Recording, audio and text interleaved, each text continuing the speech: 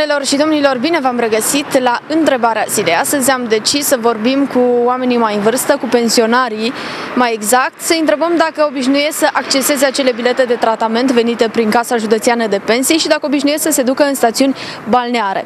La începutul anului, guvernul a stabilit, prin hotărâre de guvern, un număr de 59.641 de locuri de bilete de tratament balnear acordate prin unitățile de tratament balnear care aparțin Casei Naționale de Pensii Publice pentru anul 2016. Biletele de tratament pentru pensionari și asigurații sistemului public de pensii sunt finanțate din bugetul asigurărilor sociale de stat. Locurile vor fi repartizate pe maximum 19 serii de trimitere în anul 2016.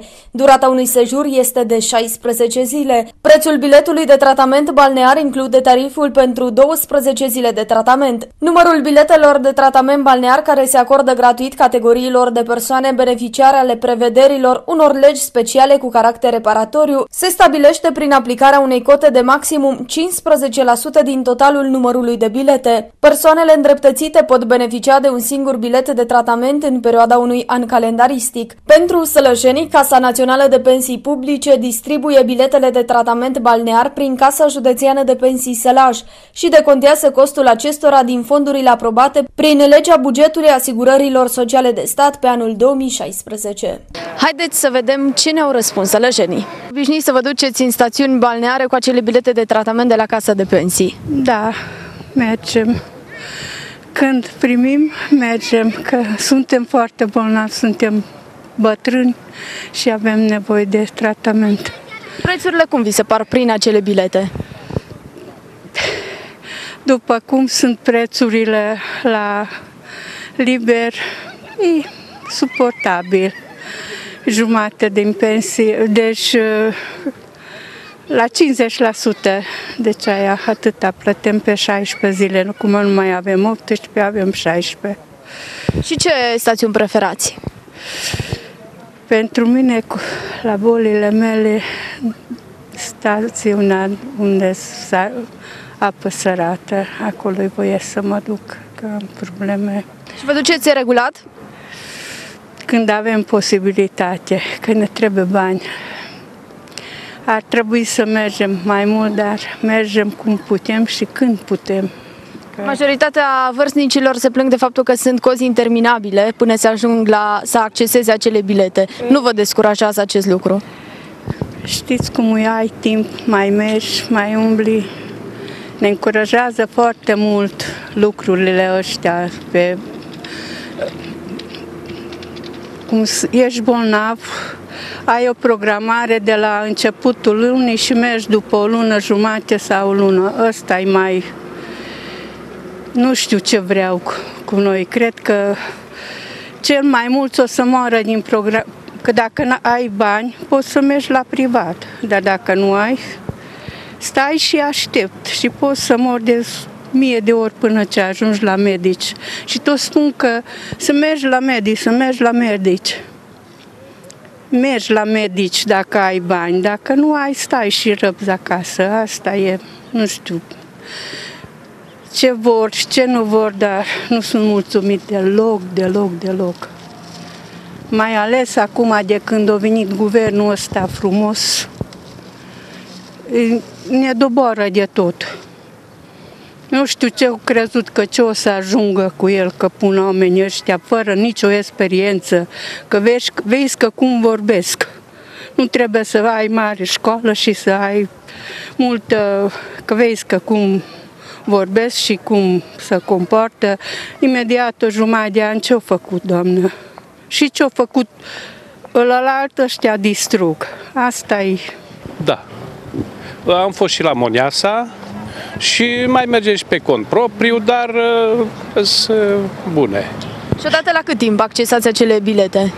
Cam la 3-4 ani, nu așa frecvent, că mai avem și alte drumuri mai da. Tarifele cum vi se par? Biletele? Tarifele. Tarifele acceptabile, da. Acum sigur că sunt funcție de pensie.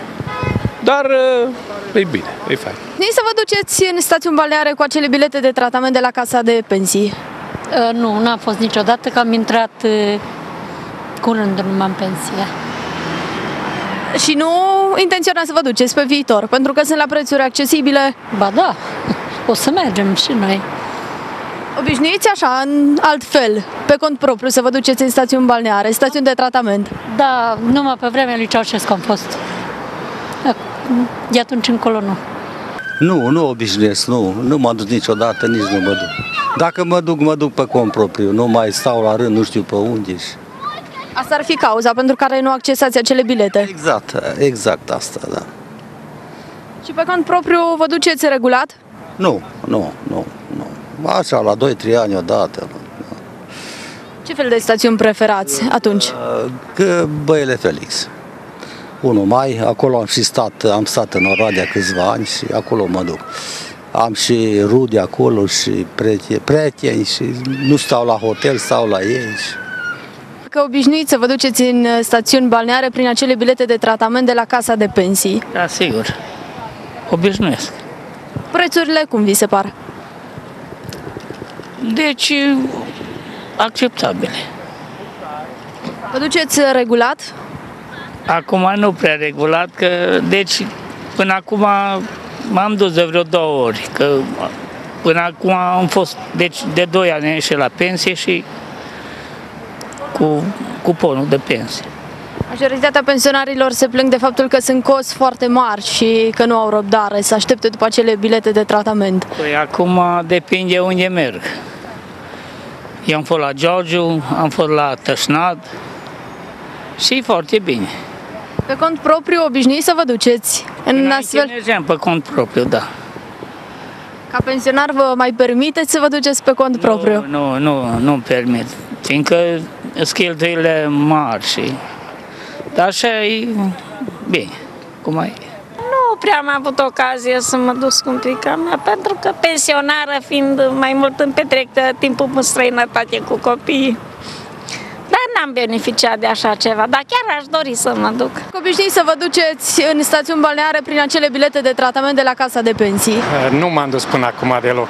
Din ce cauze n-ați accesat acele bilete? Accesat aceleași conturi și, no, și cu bani am stat mai rău, că asta e. Obișnuiți să vă duceți pe cont propriu de obicei. Da. Da. Ce stațiuni preferați? Am fost pe la Târna, de băile Herculane, am fost peste tot.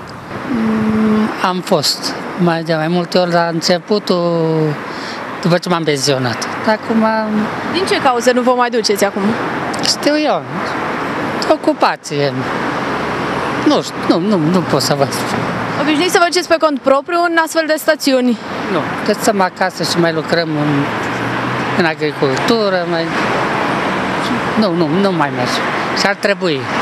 După cum ați putut observa din răspunsurile celor mai mulți pensionari sălăjeni, aceștia nu își permit să se ducă în astfel de stațiuni de tratament pe cont propriu. Tocmai de aceea cei mai mulți accesează acele bilete de tratament venite prin Casa Județeană de Pensii. Noi punem aici punct rubricii noastre, întrebarea zilei și până data viitoare vă urez toate cele bune. La revedere!